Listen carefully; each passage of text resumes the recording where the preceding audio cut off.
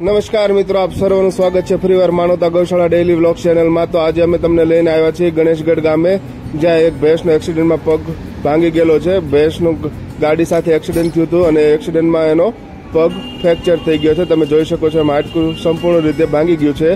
તો આજ આપણે એને પ્લાસ્ટર મારવા માટે અહીંયા આવ્યા છીએ. તો આપણે એને પ્લાસ્ટર મારવાની તૈયારી કરીશું અને પ્લાસ્ટર મારવામાં કઈ કઈ વસ્તુ જોઈએ એ તમને બતાવશું. પ્લાસ્ટર મારવા માટે સર્વપ્રથમ તો પીઓપીની જરૂર પડે છે. પ્લાસ્ટર ઓફ પેરિસ, કોટન છે, બેન્ડેડ છે. જે પ્લાસ્ટર ઓફ પેરિસ છે આપણી પાસે ચાર, છ ઇંચના પાટા છે અને બે, ચાર ઇંચના પાટા છે. તો આનાથી આપણે પ્લાસ્ટર મારીશું. પ્લાસ્ટર મારવા માટે પહેલાં તો પગ આપણે સારી રીતે એનો સાફ કરીને પછી પહેલી લેર કોટનની એટલે કે એકદમ રૂની લેર આપણે એને વીટવશું. જે રૂ હોય છે તે આખા પગમાં જ્યાં સુધી આપણે પ્લાસ્ટર મારવું છે, ત્યાં સુધી આખી કોટનની લેર એને મારવામાં આવશે.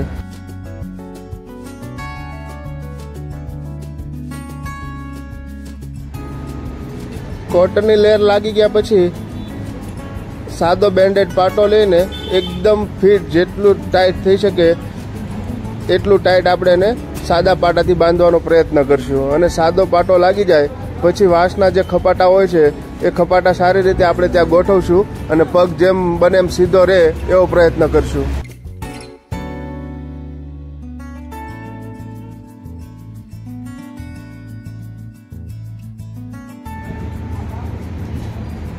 હવે બેન્ડેડ મારીને એની ઉપર આપણે આ રીતે ખપાટા ગોઠવશું પગનું જેટલું માપ હોય પ્લાસ્ટર મારવાનું, એટલા એક્ઝેક્ટ માપના ખપાટા લઈને ખપાટાની બંને બાજુ કોટન અને એનાથી પણ બેન્ડેડથી બાંધી દેવામાં આવશે. બંને બાજુ ખૂણામાં ખાસ કોટન લગાડવું એટલે ખપાટું અંદર ખૂતવા ન કરે, કેમ કે નકર ખપાટું અંદર ખૂતીને વાગવાની શક્યતા રહે છે. એટલે બંને છેડે આપણે એને કોટનથી બાંધીને પછી ત્રણ ખપાટા આપણે એને મૂકશું. એક ઉપર આવે, એક નીચે આવે ને એક સાઈડની સાઈડ આવે.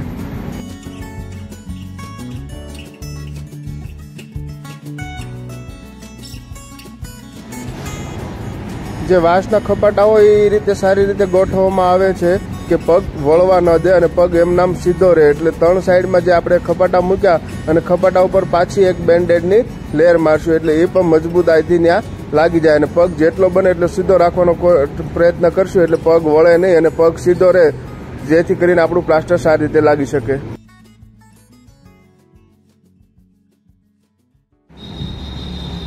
પેલા કોટનની લેયર આપણે લગાડી એની ઉપર આપણે સાદા બેન્ડેડની લેયર મારી પછી ત્યાં આપણે વાંસના જે ખપાટા હોય છે એ સારી રીતે ગોઠવા જેથી પગ સીધો રહે.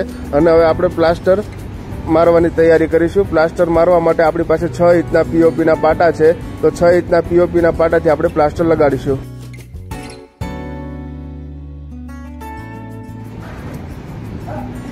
જે પીઓપીના પાટા હોય છે, એને દસથી વીસ સેકન્ડ સુધી પાણીમાં ડૂબાડી રાખવામાં આવે છે. અને પાણીમાં ડૂબાડીને પછી આ રીતે જ્યાંથી આપણને પ્લાસ્ટર દેખાય છે, ત્યાં આખા પગમાં એને બને એટલી મજબૂતાઈથી બાંધવામાં આવે છે. છ ઇંચનો પાટો લેવો વધારે હિતાવહ રહે છે. કેમ કે મોટી ગાય ભેંસ હોય છે, તો જે ચાર ઇંચના બેન્ડેડ હોય છે પ્લાસ્ટરના પીઓપીના પાટા હોય છે, એનાથી પકડ સરખી નથી આવતી. એટલા માટે આપણે છ ઇંચના પીઓપીનો ઉપયોગ કરીશું. અત્યારે તમે જે વિડીયોમાં જોઈ શકો છો તેમ, છ ઇંચના પીઓપીથી અત્યારે પ્લાસ્ટર મારવાનું ચાલુ છે અને પ્લાસ્ટર લાગી રહ્યું છે. પ્લાસ્ટર મારવા માટે છ ઇંચના પીઓપી આપણે ચાર યુઝ કર્યા છે અને બે પીઓપી આપણે ચાર ઇંચના યુઝ કર્યા છે. તો આ રીતે આપણે ટોટલ છ પીઓપીનો યુઝ કર્યો છે અને હવે તમે વિડીયોમાં જોઈ શકો છો એમ પ્લાસ્ટર લાગી ગયું છે અને થોડી વાર માટે આપણે એને સુકાવા દઈશું અને પછી નીચેથી પાટલા અને વજન લઈ લઈશું. તો માનવતા ગૌશાળા ડેલી વ્લોગ્સની જો આ વીડિયો તમને ગમ્યો હોય તો વિડીયોને લાઇક કરો, વિડીયોને શેર કરો, વિડીયોમાં તમારા કોમેન્ટ આપીને સજેશન આપો. અને ચેનલને જો હજી સુધી સબસ્ક્રાઇબ ના કરી હોય તો ચેનલ સબસ્ક્રાઇબ કરી લેજો.